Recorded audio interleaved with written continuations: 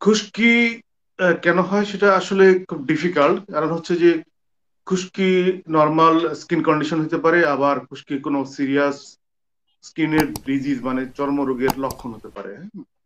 এখন যেটা হচ্ছে যে প্রথমে আমাদেরকে বুঝতে হবে যে আসলে খুশকিটা কি। খুশকিটা হচ্ছে যে আমাদের যে স্কিন ডেড স্কিন সেটা যদি আমাদের ভিজিবল হয় অর্থাৎ আমরা যদি খালি চোখে দেখি তাহলে সেটা হচ্ছে খুশকি।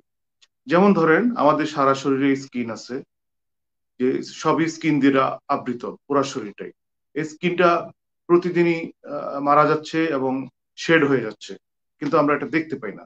কিন্তু যদি কোনো কারণে এই স্কিনটাকে যদি যে ডেড স্কিন সেটা যদি আমাদের চোখে ভিজিবল হয়, তখন সেটা খুশকি আকারে পরিণত হয়।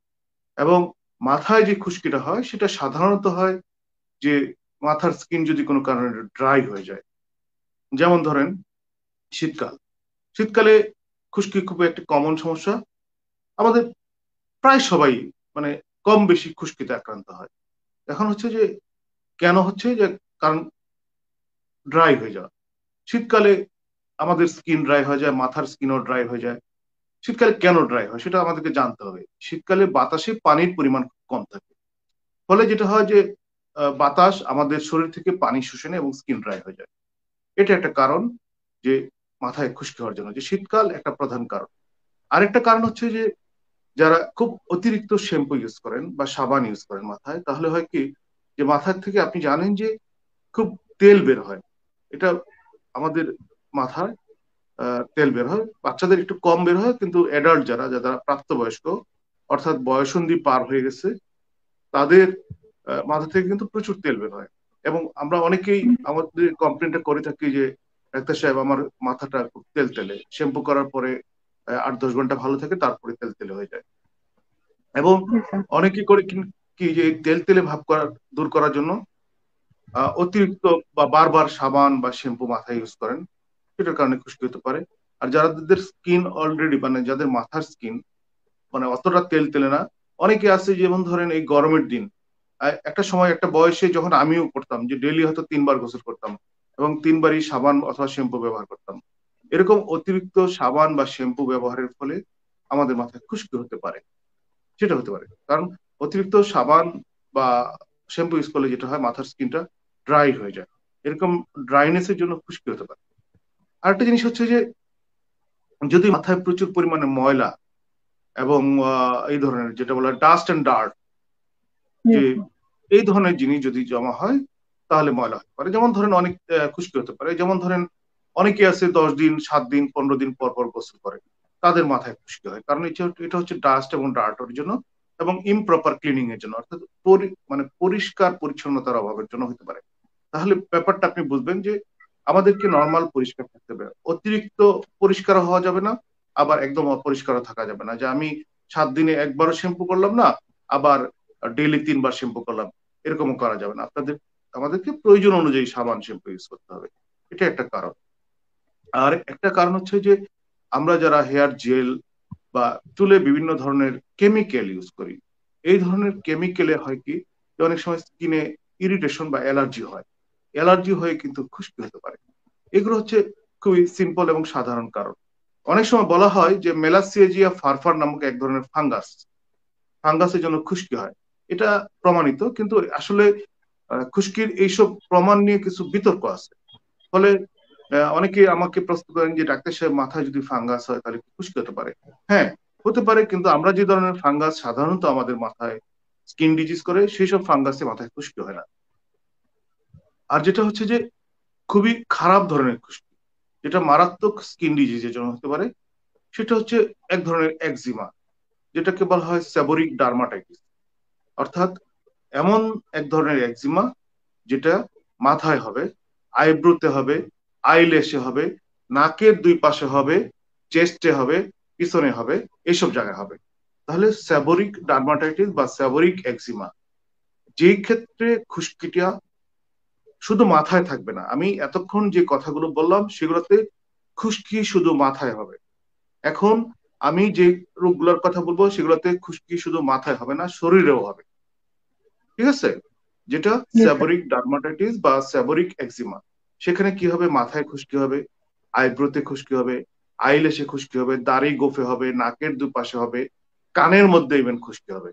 এটা স্যাবরিক এক্সিমা এক্ষেত্রে চুলকানি থাকে অনেক অনেক সময় কস বেরোতে পারে।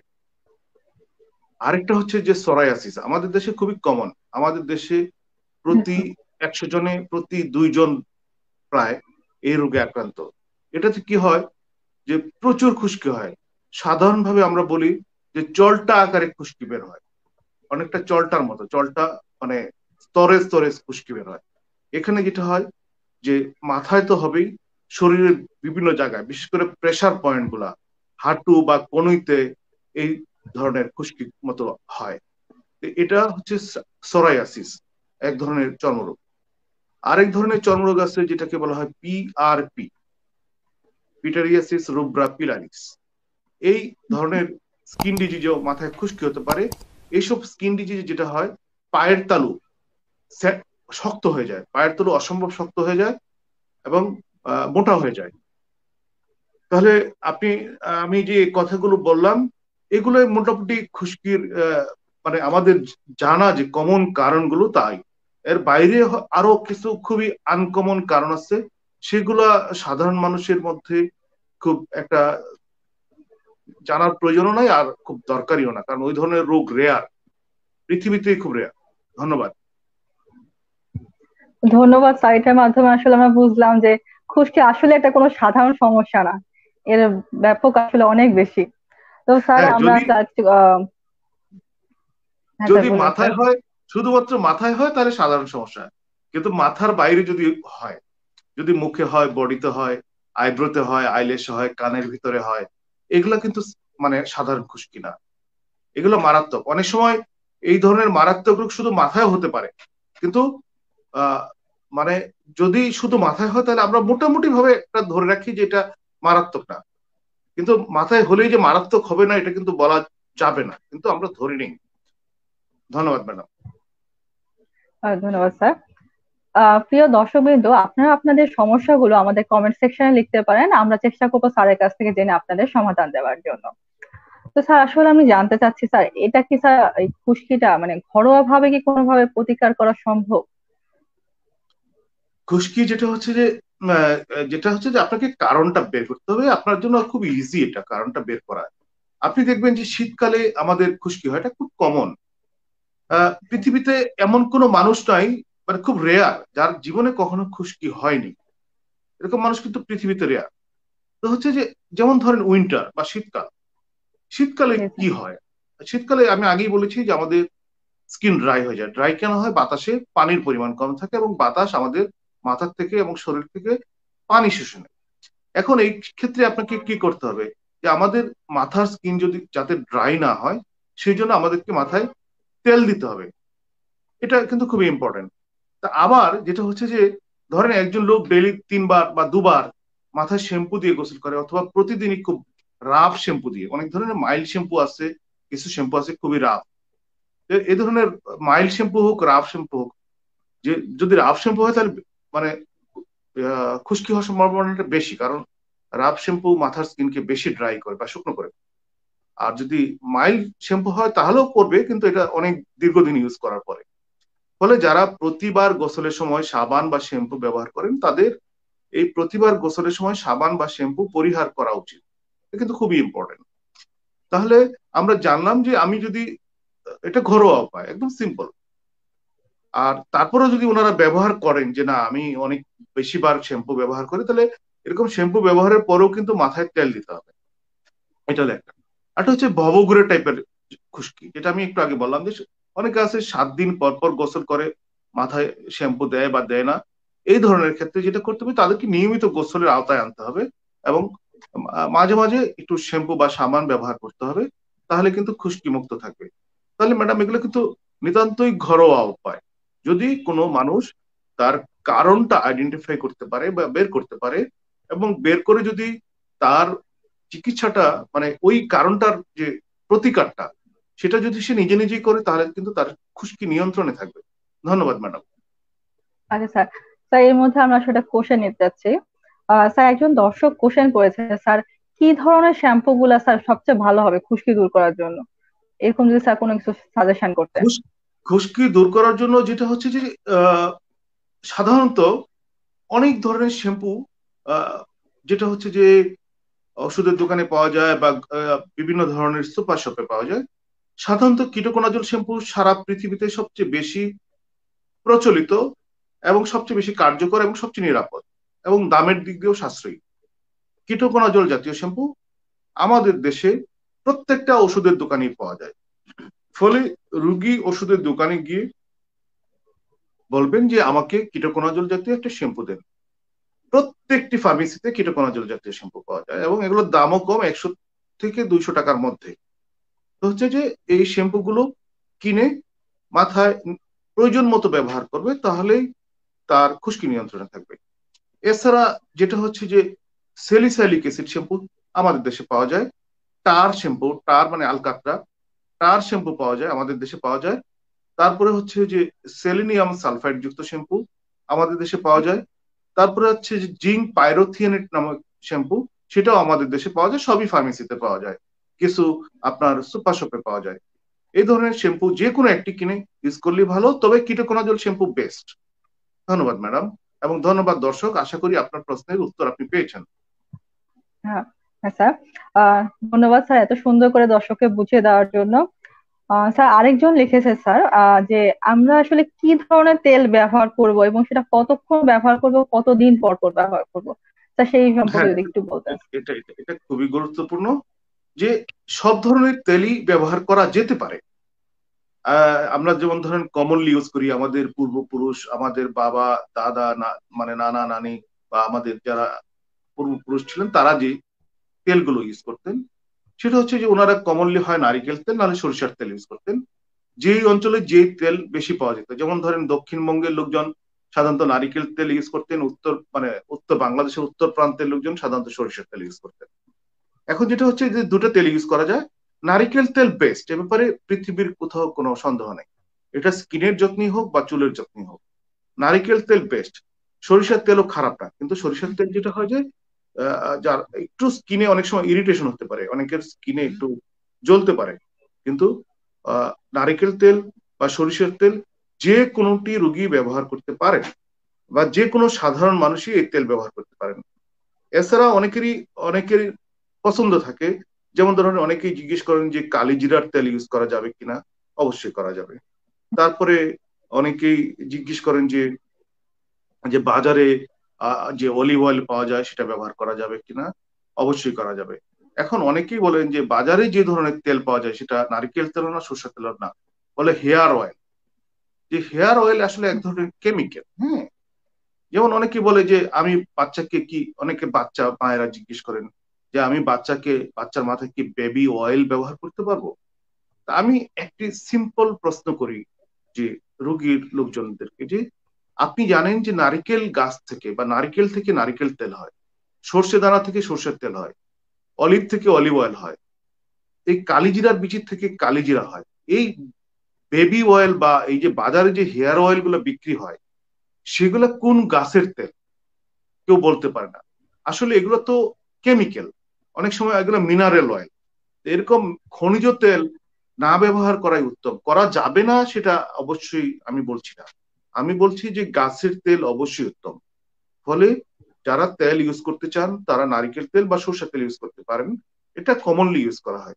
এছাড়া উনি কালিজিরার তেল বা অলিভ অয়েল এগুলো ব্যবহার করতে পারেন। এখন পরের অংশটুকু আপনি যে প্রশ্নটা করলেন, সেটা হচ্ছে যে আমি কীভাবে ইউজ করব? কতদিন ইউজ করব, কতক্ষণ রাখব, সেই প্রশ্নগুলো। এটা যেটা হচ্ছে যে কালিজিরার তেল বা নারিকেল তেল বা সর্ষের তেল যেটাই আপনি ইউজ করেন না কেন, সেটা হলো আপনার অভ্যাস এবং আপনার প্রয়োজন অনুযায়ী। অনেকে আছেন যে, গোসল করে প্রতিদিনই তেল লাগান। এটা খুবই ভালো অভ্যাস। আবার অনেকে বলে যে জীবনের তেল লাগান নেই মাথায়। উনি নতুন করে শুরু করতে চান।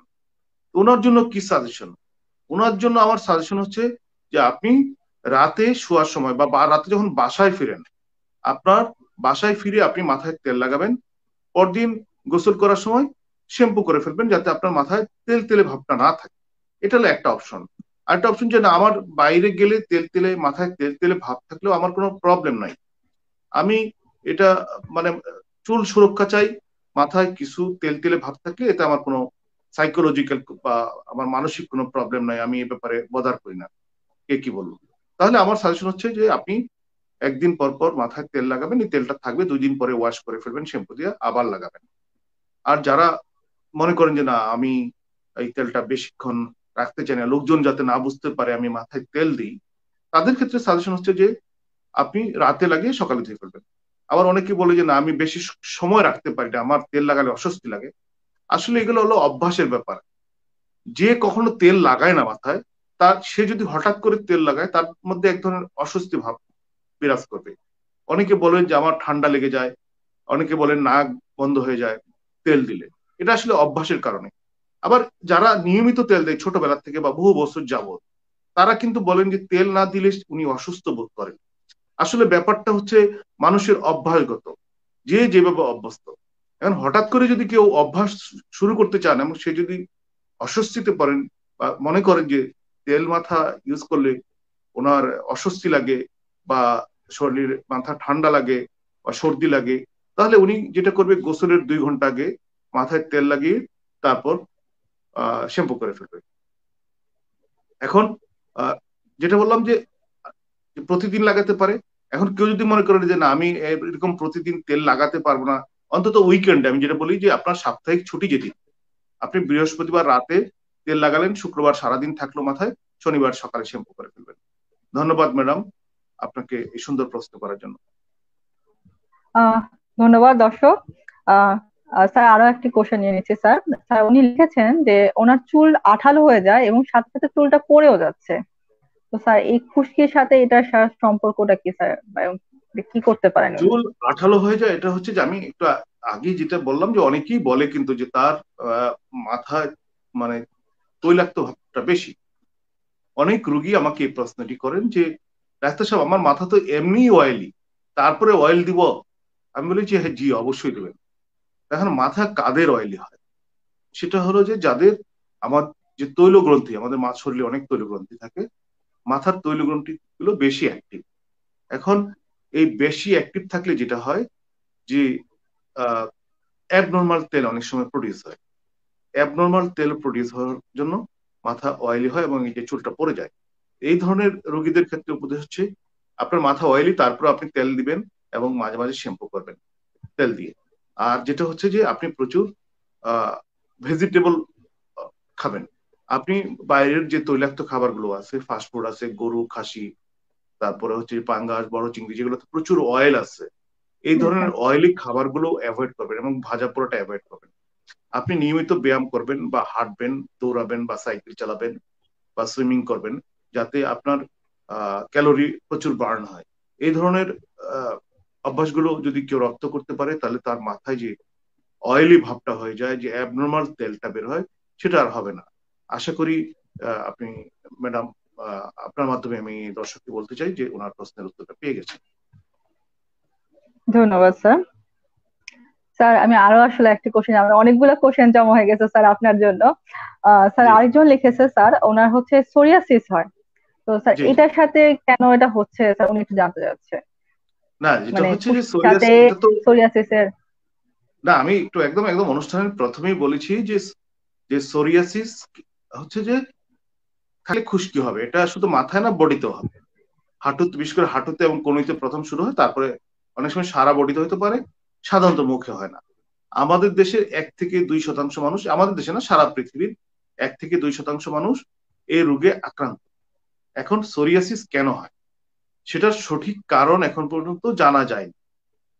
যে, যেটা হচ্ছে যে, মনে করা হয় যে, এমন কোনো একটা অ্যালার্জি আছে, যেই অ্যালার্জি, যেটা, অ্যালার্জিটা কিন্তু ম্যাডাম এখনও আইডেন্টিফাই করা হয় যে, আবিষ্কার করা যায় নাই যে, কোন অ্যালার্জিটা।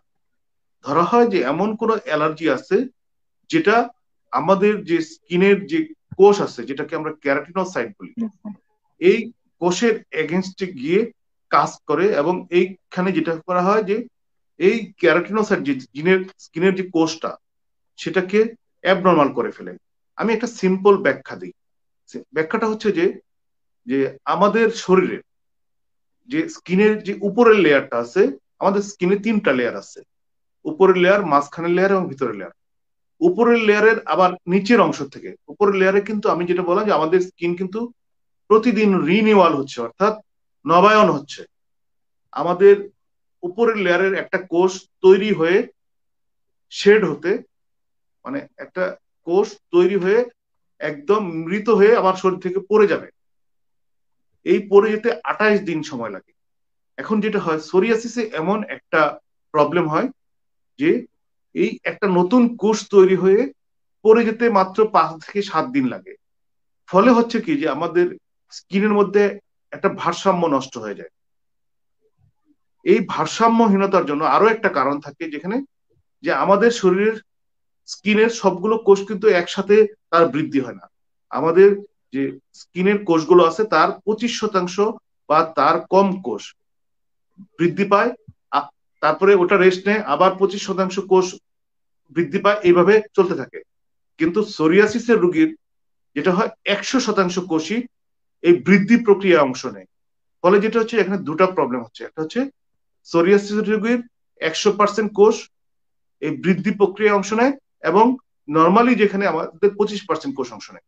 আর সোরিয়াসিসে যেটা হচ্ছে যে, এই বেজাল লেয়ার যেটা বলি আমরা, নিচের স্তরের কোষটা একদম উপরের স্তরে এসে পড়ে যেতে নর্মালি আমাদের আঠাইশ দিন সময় লাগে, কিন্তু সোরিয়াসিস রোগীর পাঁচ থেকে সাত দিনে চলে আসে। এই প্রবলেমটার জন্য হয় কি, যে এই কোষটা আর পড়তে পারে না। আমি বলেছি যে আমাদের স্কিন থেকে কিন্তু প্রতি মুহূর্তে কোষ খুলে পড়ছে, আমরা কিন্তু দেখতে পাচ্ছি না। কারণ এটা আল্লাহ এমন একটা সূক্ষ্ম মেকানিজম এখানে দিয়ে দিছে যে আমাদের যাতে সুন্দর দেখা যায়। কিন্তু সোরিয়াসিসের যে প্রবলেমটা হয়, যে এই কোষটা আর পড়তে পারে না।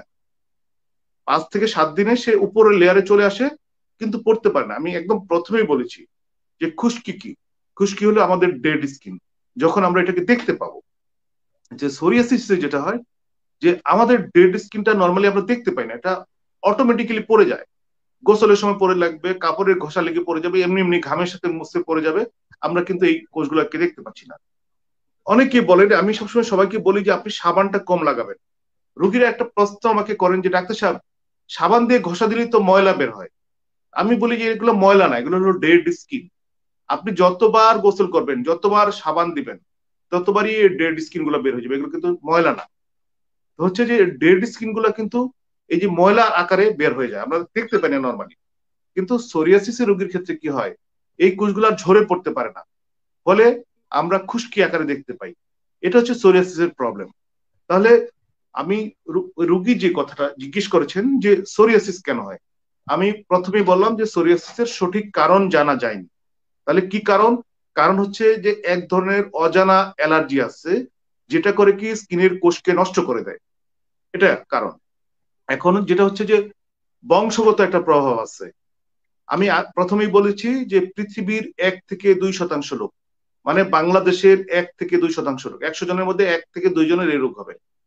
কিন্তু যদি কোনো ব্যক্তির সোরিয়াসিস থাকে, এটা মহিলা হোক, পুরুষ হোক, যদি তার একার এই সোরিয়াসিস থাকে, তার বাচ্চার হওয়ার চান্স কিন্তু পনেরো পার্সেন্ট তাহলে অবশ্যই একটা বংশগত প্রভাব থাকে।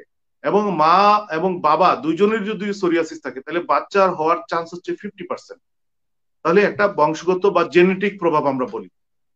এটা কিন্তু খুব ইম্পর্টেন্ট তাহলে আমি আগেই বললাম যে এক অজ্ঞাত কারণ, দুই নম্বর বলেছি যে এটা হচ্ছে একটা অ্যাবনর্মাল অ্যালার্জির জন্য। আর তিন নম্বর কারণ হচ্ছে বংশগত। আর কিছু কারণ আছে, কিছু ওষুধ খেলে আপনার সোরিয়াসিস হয় বা সোরিয়াসিস থাকলে ওটা বাড়ে। যেমন অনেক প্রেশার ওষুধ, আমি নিজেও খাই। বিটা ব্লকার নামের ড্রাগ। তারপরে অ্যান্টি ম্যালেরিয়াল এখন বাজারে যে ওষুধগুলো, এখন এই করোনার সময় সবাই কিন্তু ক্লোরোকুইন বা হাইড্রোক্সি ক্লোরোকুইন খাচ্ছে। একদম হুজুকে ইয়ের মতো হ্যাঁ মুড়ির মতো। যে এই ক্লোরোকুইন বা হাইড্রোক্সি ক্লোরোকুইন কিন্তু সোরিয়াসিস তৈরি করতে পারে বা যাদের অলরেডি সোরিয়াসিস আছে, তাদের সোরিয়াসিস বাড়িয়ে দিবে। এটা কিন্তু খুবই ইম্পর্টেন্ট কথা।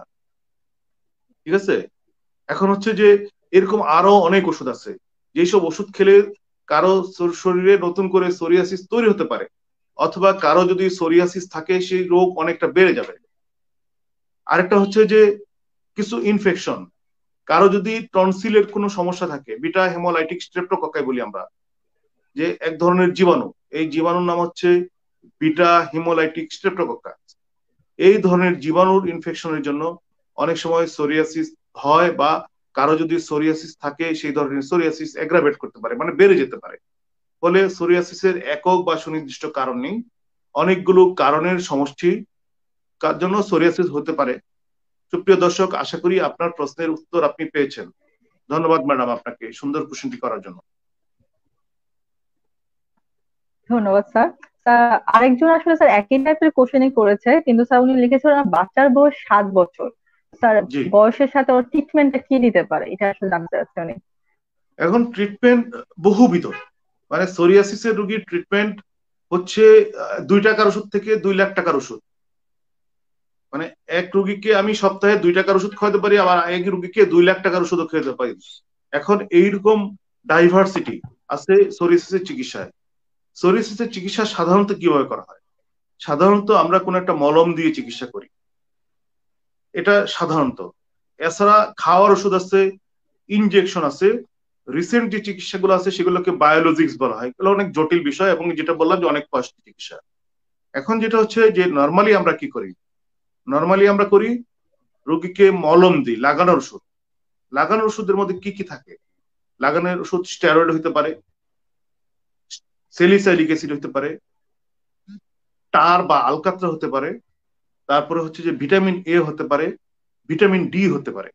এগুলো খুব কমন ওষুধ। আমরা শুধু বাচ্চাদের ক্ষেত্রে যেটা করি সরি ওনার যেটা বাচ্চা, সাত বছরের বাচ্চা বাচ্চাদের জন্য সবচেয়ে নিরাপদ হচ্ছে ভিটামিন ডি মলম।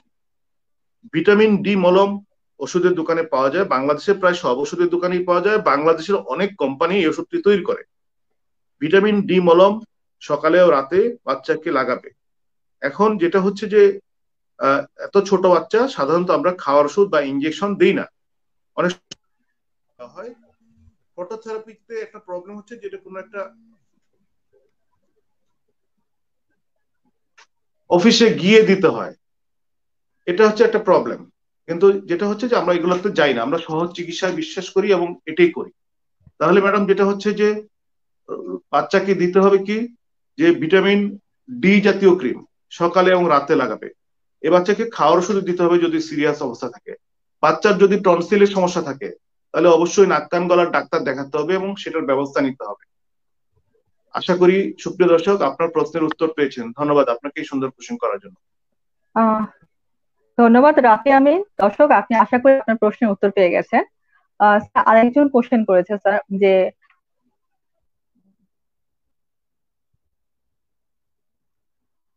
প্রিয় দর্শক বৃন্দ, আমরা আশা করতেছি আপনারা, স্যার, এই কথা থেকে অনেক কিছু শিখেছেন এবং অনেকগুলো সমস্যার সমাধান আসলে হয়ে গেছে।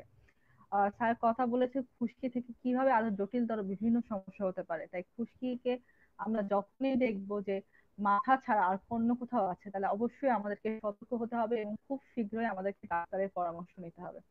এবং আমরা চেষ্টা করব অবশ্যই স্কিন কেয়ার স্পেশালিস্টের কাছে পরামর্শ নিতে।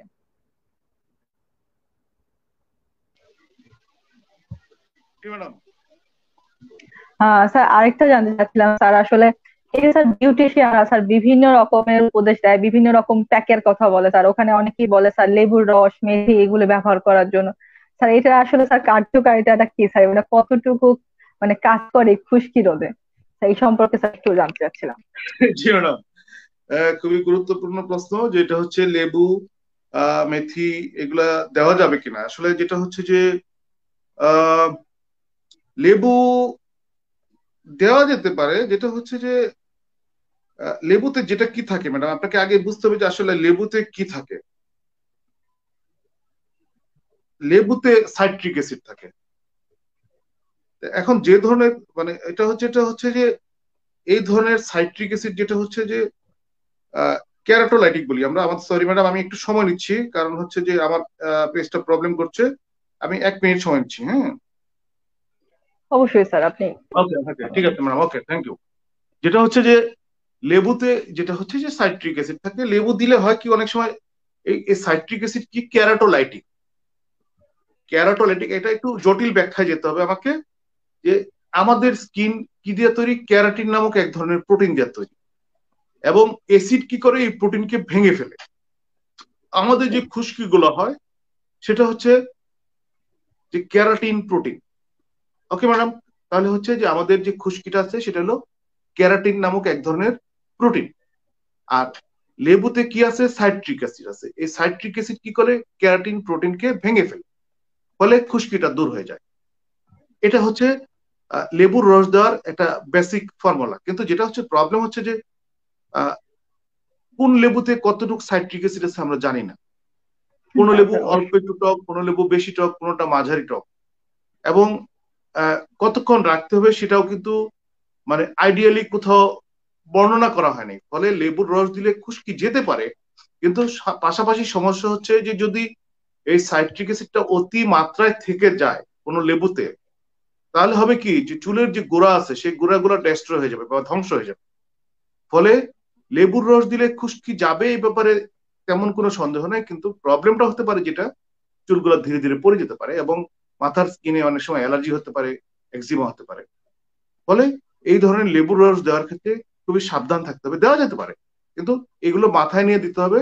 যদি কোনো এগুলো দেওয়ার পরে কোনো প্রবলেম হয়ে যায় বা লেবুর রস দেওয়ার পরে যদি অত্যধিক চুল পড়া স্টার্ট হয় বা মাথায় অ্যালার্জি চুলকানি শুরু হয় বা ঘায়ের মতো হয়ে যায়, তাহলে অবশ্যই ডাক্তারের শরণাপন্ন হতে হবে। ধন্যবাদ ম্যাডাম আপনাকে সুন্দর কোশ্চেনটা করার জন্য। তারপরে যেটা হচ্ছে মেথি। মেথি যুগ যুগ ধরে আমাদের পূর্বপুরুষরা ব্যবহার করছেন। মেথি সম্বন্ধে গবেষণাও আছে, কিন্তু খুব বেশি উপকার আছে সেটাও বলা হয় নাই। আবার মেথি দিলে যে খুব ক্ষতি হবে এরকম কিছু বলা হয় নাই। ফলে যারা দিতে অভ্যস্ত, তারা দিতে পারে। এটা রুগীর পার্সোনাল চয়েস এরকম কোনো ব্যাখ্যা বিজ্ঞানে নাই যেটা মেথি দেওয়া যাবে বা দেওয়া যাবে না। ধন্যবাদ, ম্যাডাম। আপনাকে সুন্দর কোশ্চেন করার জন্য। তো দর্শক বিন্দু আপনারা বিউটিশিয়ানদের প্যাক ইউজ করার আগে অবশ্যই একটু সাবধান থাকবেন এবং সমস্যায় পড়ার আগে থেকে অবশ্যই আপনারা স্কিন কেয়ার স্পেশালিস্টদের কাছে পরামর্শ নেবেন। ধন্যবাদ দর্শক বিন্দু স্যার আসলে স্যার একটা আপনি স্যার আগেও আলোচনা করেছেন তবু স্যার আমাদের দর্শক বিন্দু জানতে চাচ্ছে আসলে স্যার এই খুশকির জন্য স্যার অনেক চুল পড়ে যাচ্ছে। সবারই আসলে অনেকগুলো কোশ্চেন আমার এখানে জমা হয়ে গেছে। স্যার এইটার ব্যাপারে স্যার আরেকটু যদি ওদেরকে একটু ফোকাস করে বলতেন স্যার। না এখন যেটা হচ্ছে যে খুশকি যেটা হয় যে খুশকি হলে চুল পড়বে যদি মানে খুশকিটা বড় ধরনের স্কিন ডিজিজে হয়। নর্মাল খুশকিতে কিন্তু খুব একটা চুল পড়ে না। এখন চুল কেন পড়ে সেটা কিন্তু ওই যে আমি আগেই বললাম যে খুশকিতে, শুধুমাত্র খুশকিতে চুল পড়ে না, আমি আবারও বলছি, যে খুশকি যদি সরাইসিসের জন্য হয়, তাহলেও খুব একটা বেশি চুল পড়ে না। কিন্তু খুশকি যদি স্যাবোরিক ডার্মাটাইটিসের জন্য হয়, তাহলে চুল পড়তে পারে। অন্য কোনো কঠিন মানে স্কিন ডিজিজ হলে চুল পড়তে পারে। এখন খুশকিতে কেন চুল পড়ে? এই যে একটু আগে যে একটু বললেন যে, ম্যাডাম, লেবুর রস দেন। অনেকে কিন্তু বাসায় বসে লেবুর রস দেন। এরকম লেবুর রস দিলে কিন্তু চুল পড়তে পারে। অনেকে ভিনেগার ইউজ করেন খুশকি নাশকের জন্য হ্যাঁ? এরকম দিলে কিন্তু চুল পড়তে পারে। অনেকে বাসায় বিভিন্ন ধরনের প্যাক দেন। এসব দিক দিয়ে কিন্তু চুল পড়তে পারে। ফলে হচ্ছে যে অনেকে খুব বেশি বেশি শ্যাম্পু ইউজ করেন। আমি কিন্তু অনুষ্ঠানের প্রথমেই বলেছি যে খুব বেশি শ্যাম্পু ইউজ করলে কিন্তু চুলের ক্ষতি হয় এবং স্কিনেরও ক্ষতি হয়। ফলে খুব বেশি মাত্রায় শ্যাম্পু আপনি ডেলি দুইবার গোসল করবেন, দুইবারই শ্যাম্পু দিবেন, এগুলো কিন্তু উচিত না। ফলে এই ধরনের প্রবলেম হলে চুল পড়ে যেতে পারে। কিন্তু এগুলো হচ্ছে যে মানে খুশকি আসলে মূল কারণ না। যে দর্শক আমাদেরকে প্রশ্নটি করেছেন, ওনার জানতে হবে যে আসলে কেন ওনার চুল পড়ছে। চুল পড়ার কারণ কিন্তু অনেক। এখন কমন যে কারণগুলো, সেগুলো হচ্ছে যে আমরা যে খাবার খাই সেটা মান নিয়ে। সেটাতে যে আমরা যে খাবার খাই সেটা রাসায়নিক সারযুক্ত এবং কীটনাশক যুক্ত এই ধরনের খাবারের পুষ্টিগুণ কম থাকে, এক নম্বর। দুই নম্বর হচ্ছে যে আমরা প্রচুর ফাস্টফুড খেয়ে থাকি, তৈলাক্ত খাবার ভাজা পোড়া খেয়ে থাকি এইসব খাবারে আমাদের যে সুষম খাদ্য বা ব্যালেন্স ডায়েট আমরা খাওয়ার কথা, সেগুলো আমরা খেতে পারি না। ফলে চুল পড়তে পারে। আমরা কায়িক পরিশ্রম করি না। কায়িক পরিশ্রম না করলে যে মাথার চুলের গোড়ায় সূক্ষ্ম রক্তনালী, এই সূক্ষ্ম রক্তনালীগুলোতে সঠিকভাবে রক্ত সঞ্চালিত হতে পারে না। ফলে যেটা হচ্ছে যে, এসব কারণেও কিন্তু চুল পড়তে পারে। ফলে হচ্ছে যে ম্যাডাম শুধু খুশকিকে এই ক্ষেত্রে দোষ দেওয়া যাবে না। ওনাকে দেখতে হবে যে উনি নিয়মিত মাথায় তেল দেয় কিনা, উনি প্রচুর শাকসবজি, মাছ, দেশি ফল খায় কিনা ফাস্টফুড বা তৈলাক্ত খাবার অ্যাভয়েড করে কিনা, কায়িক পরিশ্রম করে কিনা, এগুলো কিন্তু ওনাকে দেখতে হবে। ফলে এগুলো দেখে ওনাকে বুঝতে হবে যে আসলে যদি এগুলো করার পরে ওনার চুল পড়াটা কন্টিনিউ থাকে, তাহলে অবশ্যই ওনাকে ডাক্তারের শরণাপন্ন হতে হবে। ধন্যবাদ ম্যাডাম, আপনাকে সুন্দর প্রশ্ন করার জন্য। ধন্যবাদ, স্যার। আমরা আসলে আমাদের অনুষ্ঠানে একদম শেষ প্রান্তে চলে আসছি, স্যার। শেষে একটা কোশ্চেন নিয়ে নিচ্ছি, স্যার। একজন জানতে চেয়েছে স্যার। এই খুশকি থেকে কি চিরতরে মানে মুক্তির কোন উপায় আছে? নাকি এটা শুধু চিরতরে মুক্তি আসলে আমরা যেটা বলি যে চিরতরে আসলে পৃথিবীতে মানে যেটা ব্যাপারটা হচ্ছে পারমানেন্ট আর কি। সবাই বলে যে এটা বাংলা না বলে আমি যদি ইংলিশে বলি এটা বলে পারমানেন্ট সলিউশন পৃথিবীতে আসলে পারমানেন্ট শব্দটাই মানে নাই। পৃথিবীতে পারমানেন্ট শব্দটা খুব একটা অস্তিত্ব নাই। পৃথিবীটা হচ্ছে রিলেটিভ মানে হচ্ছে যে আপেক্ষিক। যে খুশকি ভালো হওয়ার কোনো পারমানেন্ট চিকিৎসা পৃথিবীতে নাই। কারও যদি হয়ে যায় সেটা কাকতালীয়, অথবা ন্যাচারাল প্রসেসে অথবা উপরালার ইচ্ছা। তাহলে হচ্ছে যেটা হচ্ছে যে, আমরা যে চিকিৎসাগুলো প্রদান করে থাকি রোগীদেরকে, সেটা দিলে হয় কি? যে রোগী সুস্থ থাকে, তার মাথার স্কিনটা ভালো থাকে, চুল পড়া নিয়ন্ত্রণে থাকে, রুগী স্বস্তিতে থাকে। ফলে হচ্ছে যে, খুশকির চিকিৎসা দেওয়ার উদ্দেশ্য হচ্ছে রুগী যাতে সুস্থ থাকে। আমি যে কথাগুলো আগেই বললাম, রুগী যাতে সুস্থ থাকে মাথার স্কিন যাতে সুস্থ থাকে, চুল যাতে সুস্থ থাকে, রুগী যাতে স্বস্তিতে থাকে, এগুলোর জন্য। খুশকি তার ন্যাচারাল নিয়মে ভালো হবে, যদি রুগী ঠিকমতো যত্ন করে, তাহলে একটা না একটা সময় খুশকি ভালো হয়ে যাবে। কিন্তু কোনো চিকিৎসা দিয়ে খুশকি চিরতরে ভালো হবে, এটা আশা করা দুরাশা। আশা করি মানে আমার প্রশ্নের, আপনার প্রশ্নের উত্তরটি আপনি পেয়েছেন হ্যাঁ? ধন্যবাদ স্যার। আসলে আমাদেরকে আপনি এত গুরুত্বপূর্ণ সময় থেকে কিছুটা সময় দেওয়ার জন্য এবং দর্শকদের এত সুন্দর করে বুঝিয়ে দেওয়ার জন্য। আশা করি সব দর্শকই আপনার কাছ থেকে অনেক উপকৃত হয়েছে। তো ধন্যবাদ দর্শক বৃন্দ আপনারা আশা করি স্যার থেকে অনেক কিছু শুনেছেন এবং চেষ্টা করবেন নিজেদেরকে সুস্থ রাখতে। খাবার দাবারটাও ঠিক মতো খেতে, কারণ স্যার কিন্তু খাবার দাবারের প্রতিও যত্নের কথা বলেছে। তো স্যার, শেষ মুহূর্তে আপনি যে স্যার দর্শকদের জন্য কিছু বলতেন। হ্যাঁ যেটা হচ্ছে যে আপনি দর্শকদের যে আমি একটা কথাই বলি সবসময় যে আপনি একটা হেলদি লাইফ লিড করবেন হ্যাঁ? আপনি নিয়মিত কায়িক পরিশ্রম করবেন। যেটা হচ্ছে যে প্রচুর দেশীয় খাবারগুলো খাবেন, শাকসবজি খাবেন, আর হচ্ছে যে সুস্থ জীবন যাপন করবেন। তাহলে দেখবেন যে আপনি সুস্থ থাকবেন। আপনার এইটটি পার্সেন্ট বা নাইনটি পার্সেন্ট রোগ এমনি হবে না। আর যেটা বলব যে আপনার যদি কোনো ছোটখাটো শারীরিক প্রবলেম থাকে, যেমন খুশকি হোক বা চুল পড়া হোক, আপনার বাসার আশেপাশে যে এমবিবিএস ডাক্তারগণ আছেন, ওনাদের সাথে দেখা করবেন। কারণ হচ্ছে যে এমবিবিএস চিকিৎসা শাস্ত্রের সর্বোচ্চ ডিগ্রি একজন এমবিবিএস ডাক্তার কিন্তু অনেক বড় একজন ডাক্তার। ফলে যেটা হচ্ছে এবং উনি আপনার যে রোগগুলো হয়, তার নাইনটি পার্সেন্ট না সরি নাইনটি ফাইভ পার্সেন্ট রোগ এর চিকিৎসা করতে সক্ষম। ফলে আপনার যে কোনো শারীরিক প্রয়োজনে আপনি আপনার বাসার আশেপাশের যে এমবিবিএস ডাক্তার আছে, যাদেরকে আমরা জেনারেল প্র্যাকটিশনার বলি, তাদের কাছে যাবেন এবং তাদের পরামর্শ গ্রহণ করে ওষুধ খাবেন। কখনোই ওষুধের দোকানদারের কাছে গিয়ে বলবেন না যে, আমাকে কিছু ওষুধ দেন। এতে আপনার কিন্তু মারাত্মক ক্ষতি হতে পারে। তারপরে আপনার যদি ওই এমবিবিএস ডাক্তার আপনাকে বলে যে, না, উনি যে চিকিৎসা দিয়েছেন, তারপরেও স্পেশালিস্টের মতামত নেওয়ার প্রয়োজন আছে, উনি আপনাকে কোনো স্পেশালিস্টের কাছে পাঠিয়ে দেবেন। সুপ্রিয় দর্শক মন্ডলী আপনারা স্বাস্থ্যবিধি মেনে চলবেন। আপনাদের প্রাথমিক স্বাস্থ্য পরিচর্যার জন্য আপনার বাসের, আশেপাশের যে এমবিবিএস ডাক্তার আছে, তাদের সাথে পরামর্শ নেবেন। আর যেটা হচ্ছে যে, ভালো থাকবেন, সুস্থ থাকবেন।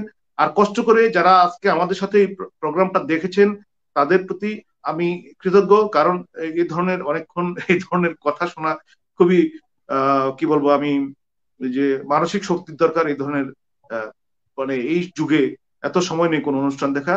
আপনাদেরকে ধন্যবাদ আমাদের সাথে থাকার জন্য। আর আপনাকে বলি, ম্যাডাম, যে আপনি আমাকে ডাকে, ডেকেছেন আর রাজ টিভি আমাকে ডেকেছে, রাজ টিভির প্রতি কৃতজ্ঞ। আপনাকে ধন্যবাদ, ম্যাডাম। সবাইকে সবাইকে ধন্যবাদ। সবাই ভালো থাকুন, সুস্থ থাকুন।